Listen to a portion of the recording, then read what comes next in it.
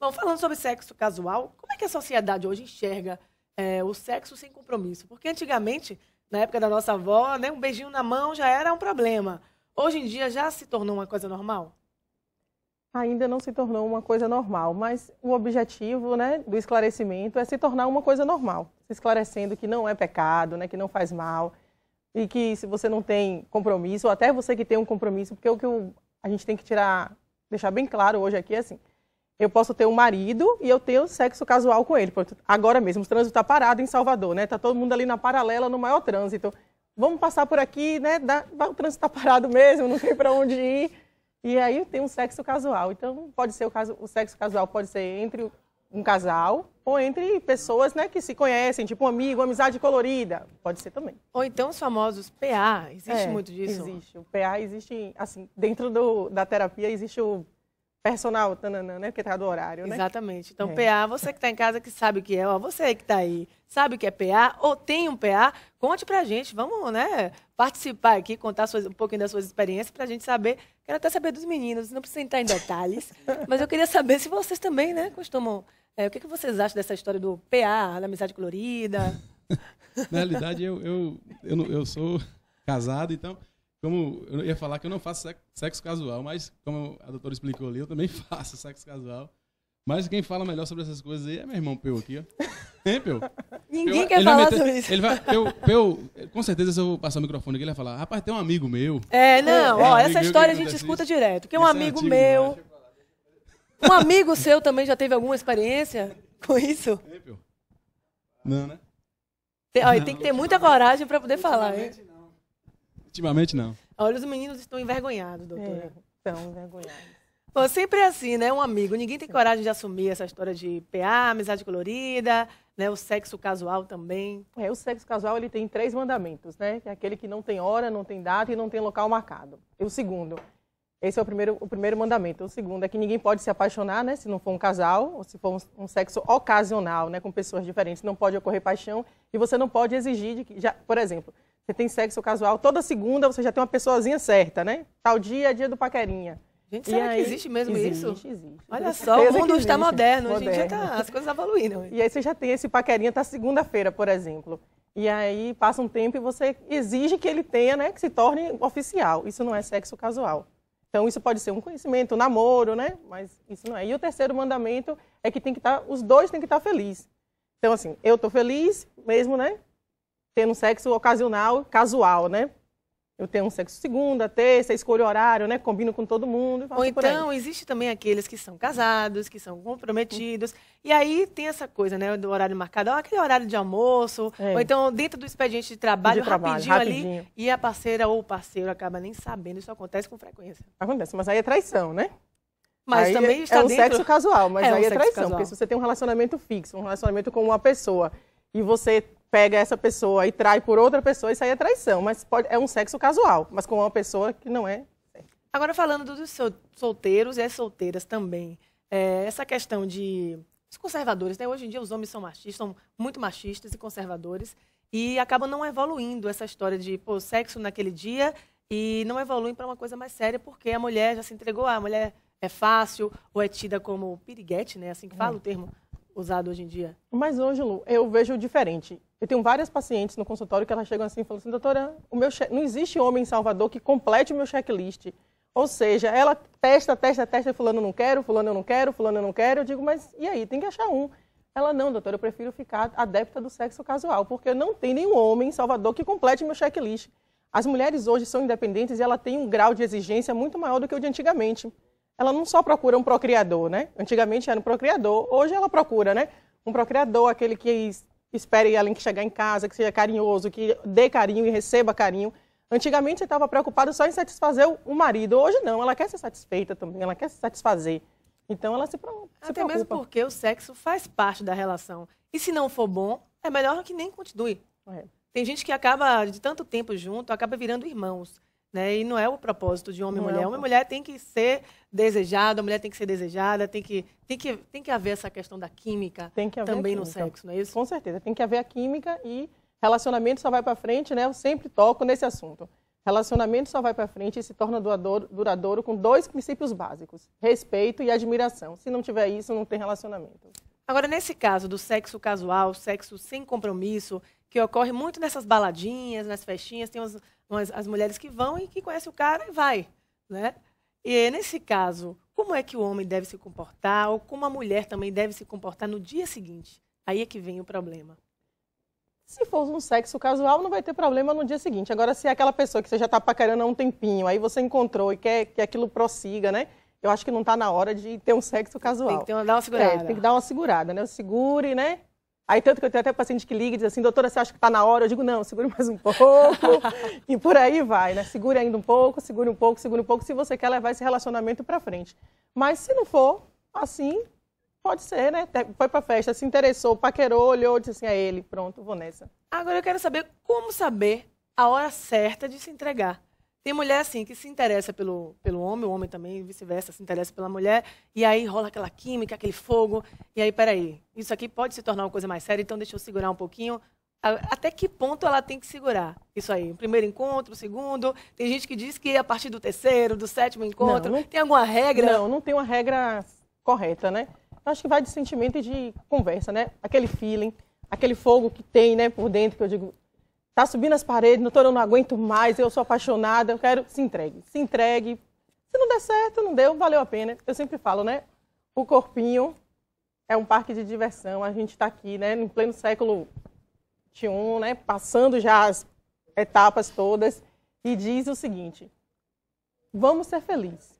A vida é curta, aproveite a vida, curta bastante, respeite quem está do seu lado. Se você está solteira, procure, olhe e curta a vida, porque a vida passa e aí depois chegar lá no consultório e dizer, não aproveitei a vida, não encontrei fulano, fiquei esperando a vida inteira por ciclano e eu queria tratar isso agora. Nunca é tarde para tratar, mas aproveite a vida. Agora, essa história de que depende da conversa, se depender dos homens, eles vão levar todas, porque o papo é sempre aquele bonitinho. ah, não vamos para um lugar mais reservado, a gente não vai fazer nada que você não queira. Essa frase já virou, né? Não, Todas as mulheres não caem mais nessa, isso? não. não as mulheres fazer... estão espertas. As mulheres é, estão né? espertas. Eu acho que tem muita mulher colocando o homem no bolso hoje. É verdade. Se faz de santa. Se faz de santa. Mas, na verdade, e ela é pior ainda do que ele. Tem uma terapeuta né, americana que ela diz assim, por mais que você seja inteligente, sempre se mostre menos inteligente do que o homem. Bote ele na palma da sua mão. E eu sempre ensino isso no consultório. Eliana, né, dê uma risadinha, mesmo que você diga assim, que cara otário, mas dê uma risadinha e diga, ele não está entendendo nada, e você diz assim, é mesmo. Nem tinha pensado nisso, você já pensou nisso, ó? Tem uma pergunta aqui. Sou casada há três anos, vivo muito bem com minha atual esposa. Porém, sempre que encontro a minha ex-esposa, com a qual tenho dois filhos, fazemos amor. Isso acontece quase todo mês. Isso é amor ou é sexo casual? Isso é comum, hein? É um sexo casual, mas isso daí é traição, né? Se ele tem um marido, uma esposa e está tendo relação com uma outra mulher, sem consentimento da mulher, traição. Então, não vamos confundir as coisas. Traição é traição, sexo casual é sexo casual. Agora, tem gente que diz, doutora, que essa coisa de, de você fazer alguma coisa sem compromisso, fora do seu relacionamento, acaba estimulando a sua própria relação.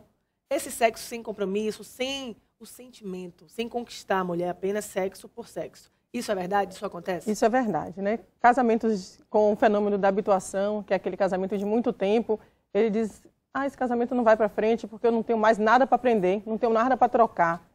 E aí ele procura um relacionamento fora, né? Aprende algumas coisas novas, acha que ele não morreu ainda e continua um relacionamento. Se existe, se eu vou falar, né? Dr. Ricardo Cavalcante, né? Meu chefe na sexualidade me perdoe, mas isso é um tipo de tratamento. É verdade. É um tipo de tratamento, é para casamentos de longa data, até o terapeuta pode até dar essa orientação. Sério mesmo? Gente, isso é um problema. E agora nenhuma mulher vai aceitar esse tipo de coisa, não. É uma situação meio complicada. Mas para viver feliz, em paz, eu acho que vale tudo, tá certo? Sempre com verdade. Olha, tem mais gente participando aqui. Olha, essas perguntas aqui são interessantíssimas.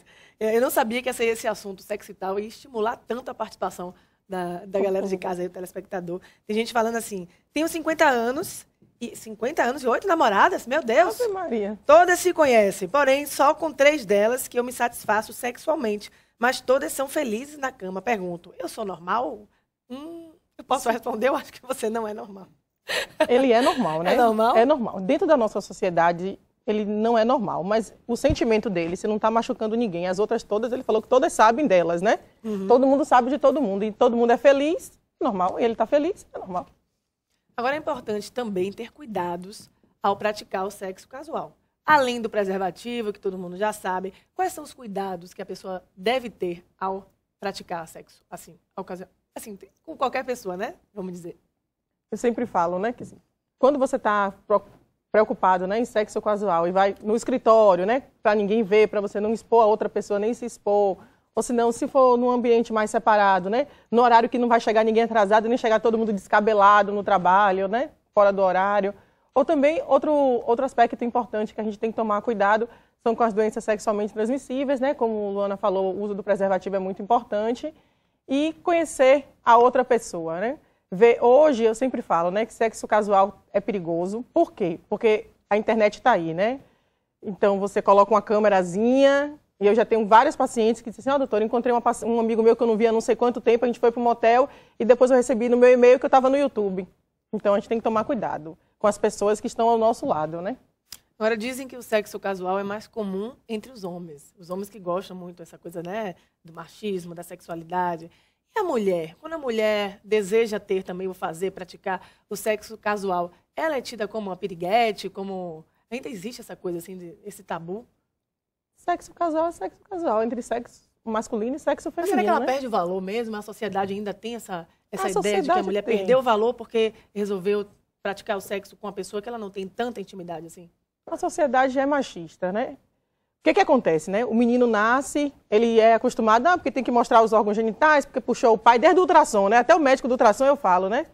Olhou lá, é menina, e olha o tamanho, né? Agora a menina, coitada, tem que usar um sutiã com três anos, fica na praia correndo, querendo brincar, e a mãe, peraí, minha filha, conserta o buchezinho lá, né?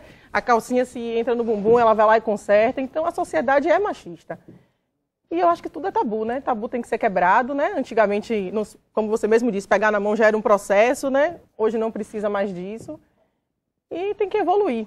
E a mulher, ela tem direito de fazer sexo com quem ela quer, na hora que ela quiser, no momento que ela tiver vontade, assim como o homem, desde que não vai infringir a sociedade, né? Não vai machucar ninguém, ela não vai se sentir humilhada, nem vai humilhar ninguém, nem vai passar por cima de ninguém.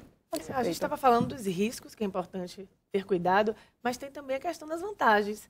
Quais são as vantagens de fazer, de praticar o sexo casual? Nem todo mundo gosta. As mulheres geralmente pretendem, assim, gostam mais da coisa do sentimento, de se entregar é. primeiro com o coração para depois se entregar dessa, dessa forma. Mas tem outras que pensam diferente. Então, quais são as vantagens disso aí? As vantagens é que no casamento, né, a mulher sempre quer satisfazer o homem, né? E no sexo casual, ela quer se satisfazer. Então, ela pode escolher uma pessoa e dizer, eu não quero assim, eu quero assado porque eu gosto assim. E 90% das vezes no relacionamento em casa, né, é o homem que diz, ah, eu quero assim, fica assim, fica assado. E ela não é muito bem chegada nessa hora. Né? Então, quando é o sexo casual, ela escolhe a posição, ela escolhe o que ela quer, né, desde que não infrinja o coração nem o sentimento de ninguém.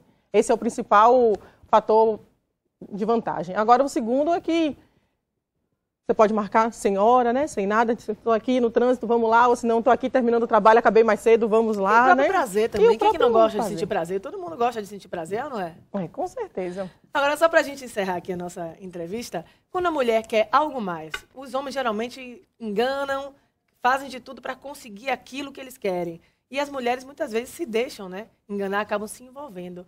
Quando a mulher quer algo mais além do sexo, como ela deve fazer? Qual é a dica que você dá para ela se comportar, além de segurar? Tem que segurar a onda, mas o que mais ela deve fazer? Vez primeiro, as mulheres elas têm que saber se aquele cara do sexo casual é o cara que ela quer levar para ser o companheiro dela para a vida toda. Porque a paixão existe, né? Já dizia o poeta, né? Que seja eterno enquanto dure, mas se houver chama, a paixão, se tem paixão, que seja eterna enquanto dure. Mas saber diferenciar o sexo casual, o sentimento que ela está sentindo, se é paixão, se é desejo, se é só vontade de conhecer uma nova pessoa, e se isso dali é o sentimento que ela quer desenvolver ou amadurecer para poder levar um relacionamento duradouro. Se for esse sentimento, né, não é essa pessoa que eu quero, invista, né? Então, tente trazer. No dia você fala assim, vamos jogar, né? Tipo, hoje eu mando, na outra semana você manda, né? E se conhecer. Aí vamos aproveitar e sair daqui, em vez de vir só direto para a cama, vamos sair andar de mão dada no shopping, jantar juntos. Evitar as né? tentações. Evitar as. É, Senão ela acaba cedendo. É. Aí acabou o jogo, não tem mais jogo. Mudança de, de lugar, né? Situação. Antes era só no motel, passa a ser na casa de um, depois na casa do outro, depois marca um jantar, a população, né? Toma partido, ver quem é a pessoa, né? Porque a gente sabe, né, que o PA é hora marcada, né? Sete horas, sete e meia. E eu ainda tenho uma, uma amiga que ainda diz assim, né? Acabou sua hora, viu, meu amigo? Vai embora. Ah. Acabou sua hora. Tá bom, chega, né? Ó, todo mundo tá querendo saber o que é PA. A gente perguntando aqui, olha, eu não vou, eu não vou responder. Não pode, Eu essa hora não responder pode. Esse horário, o que é PA. Até a galera daqui tá querendo saber o que é PA também. Eu tá se fazendo. Mas, ó, deixa É. pra lá, pesquisa aí em casa, o doutor Google, pra você, quem sabe, você descobre o que é PA. Que eu não vou contar, não.